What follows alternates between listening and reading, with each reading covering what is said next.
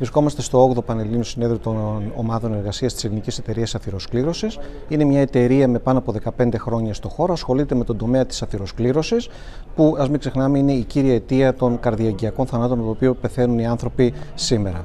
Ε, στο συνέδριο αυτό, το οποίο είναι διήμερο, έχουμε την τιμή να φιλοξενούμε πολύ υψηλούς προσκεκλημένους, όπως για παράδειγμα τον πρόεδρο της Ευρωπαϊκής Εταιρείας Αθυροσκλήρωσης, καθώς επίσης και άλλους διακεκριμένους ομιλητές από την Ευρώπη, τον Καναδά, από χώρες Ανατολής Ανατολής. Επομένως λοιπόν είναι ένα συνέδριο με σημαντική διεθνή συμμετοχή.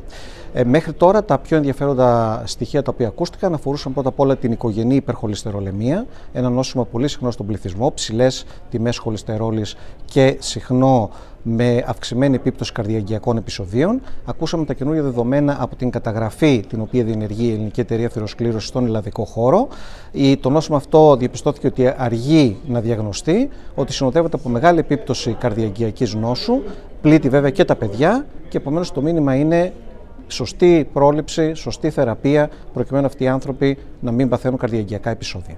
Επίσης, ακούσαμε σημαντικά μηνύματα για την υγεία του ελληνικού πληθυσμού από τον καθηγητή επιδημιολογίας του κ. Παναγιωτάκο. Μας περιέγραψε μια όχι καλή εικόνα, ζωφερή θα την έλεγα, της ελληνικής πραγματικότητας.